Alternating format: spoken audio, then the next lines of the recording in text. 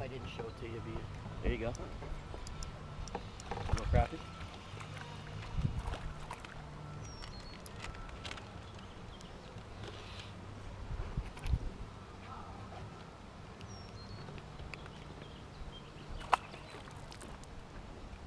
Got it stacked. Yeah, you can see them. Uh, I can't see them, but once the jig goes down a certain depth, it's like Tap tap. They just just pop. It seems like they just they already have it in their mouth. Yeah. They're not really active. It seems like.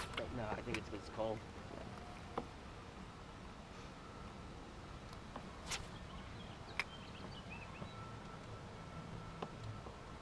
This is gonna look like the most unorthodox setup when I show it to you, but trust me, as weird as it seems, it works extremely well at certain times.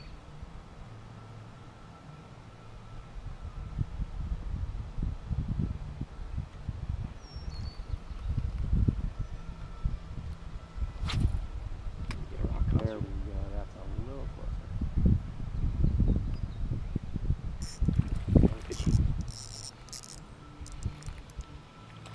Now you've seen the bass Senkos before, right? Yeah. They only sell these in Japan now. They stopped selling in the United States. Hmm. Why I don't know. Legal. Woo! Flipping them up. Is that a bluegill? That's funny. It absolutely looks like nothing.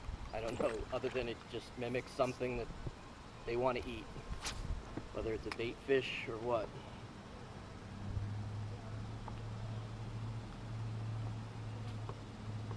But it's fairly heavy because of the salt that's in it, so you can actually cast it. Sure. and set the hook and bring it right back in the hook.